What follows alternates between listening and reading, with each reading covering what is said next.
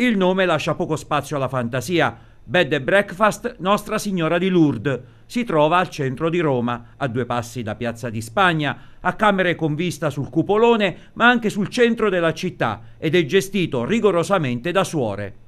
È uno di quegli alberghi dove vanno solitamente turisti che vogliono spendere poco e i religiosi che si recano nella città sacra alla cristianità. Al Nostra Signora di Lourdes qualche sera fa si sono visti arrivare un signore sulla cinquantina, faccia pulita da diacono e che avrà sicuramente chiesto come prima cosa dove si trovasse la cappelletta per pregare e gli orari.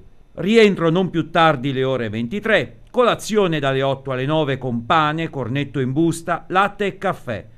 La camera con il bagno, ma se si vuole risparmiare ci sono anche camere con bagno in comune. Il prezzo dai 30 ai 50 euro a notte, a seconda della tipologia della camera. L'ospite ha pernottato in una camera singola a due letti con il bagno.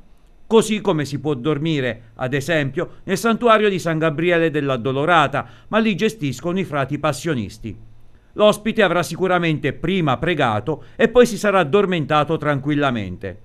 E pensare che a qualche centinaio di metri di distanza in linea d'aria c'è un altro albergo chiamato Albergo del Sole, dove un altro ospite un paio di anni fa si era recato, non da solo, pagando molto di più in un ambiente sicuramente diverso e che per quella notte passata lì, a due passi dall'altro albergo, ha visto nascere e sviluppare uno scandalo che lo ha travolto.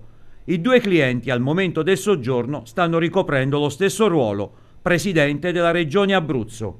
I nomi? Luciano D'Alfonso e Gianni Chiodi, entrambi con una formazione cattolica alle spalle, uno però molto più clericale dell'altro. Serve specificare chi?